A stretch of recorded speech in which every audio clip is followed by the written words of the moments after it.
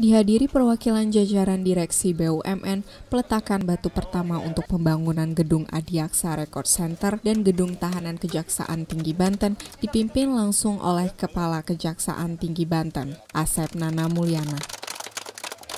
Tujuan pembangunan Gedung Adiaksa Record Center untuk menampung para santri yang akan melakukan program hafalan Al-Quran selama tiga bulan sedangkan ruang tahanan Kejaksaan Tinggi Banten akan digunakan sebagai ruangan tahanan sementara bagi para tersangka. Media, jadi ini merupakan bentuk kolaborasi, bentuk sinergitas antara kami dari APH dengan teman-teman di BUMN. Jadi kami memahami betul, menyadari betul bahwa eh, penegakan hukum saat ini tidak hanya semata-mata pada terjadinya sosial, ya, social order, tapi juga bagaimana kita bisa kontribusi positif dalam pembangunan nasional bagaimana kita membantu teman-teman BUMN untuk bisa tereksis, bisa kemudian berkinerja baik, tentu saja untuk kemaslahatan umat manusia di Republik ini. Itu bagian komitmen kami untuk uh, sebagaimana arahan Pak Jaksa Agung, bagaimana kami mensinergikan, bagaimana kami membalans, menyeimbangkan antara kinerja, uh, profesionalitas, dan kemudian integritas. Ingin kami bangun itu dalam konteks uh, pelaksanaan tugas dan fungsi kami di Kejaksaan Tinggi itu.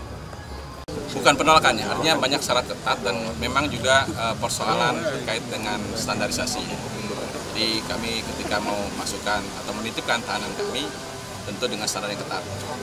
Sementara di sisi lain kami juga memahami betul bagaimana kapasitas daripada rutan yang sangat terbatas. Ini menjadi kendala kami, sehingga kami ketika kami mau menahan ataupun mau menitipkan tahanan itu, kami harus mencari-cari di tempat mana, di rutan mana yang kemudian kosong. Karena dengan adanya ini, insya Allah nanti uh, kesulitan teman-teman di Kejati ini akan bisa minimal teratasi di lapangan.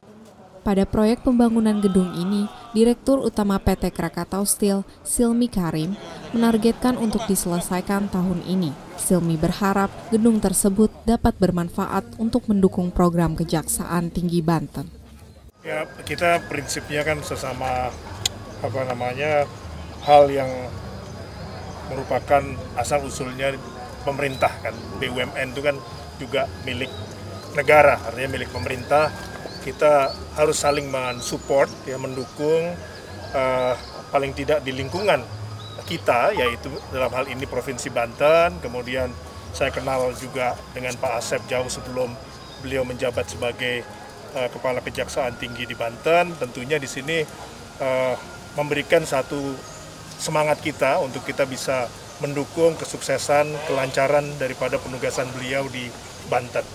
Dan ini juga merupakan bagian dari kontribusi Krakatau Steel ya untuk uh, dalam hal ini Provinsi Banten agar bisa menjadi uh, lebih baik lagi dalam kaitan penugasan ataupun juga dalam hal kita menghasilkan masyarakat yang tentunya taat pada hukum, kemudian juga penegakan hukum dan lain sebagainya. Supportnya kita ada satu uh, gedung ya yang digunakan untuk uh, apa namanya uh, Kejaksaan Tinggi Banten, terus kemudian ada juga yang pelayanan uh, hukum ya di depan ya dan ini merupakan uh, apa namanya langkah-langkah yang kita lakukan uh, untuk kebaikan kita bersama.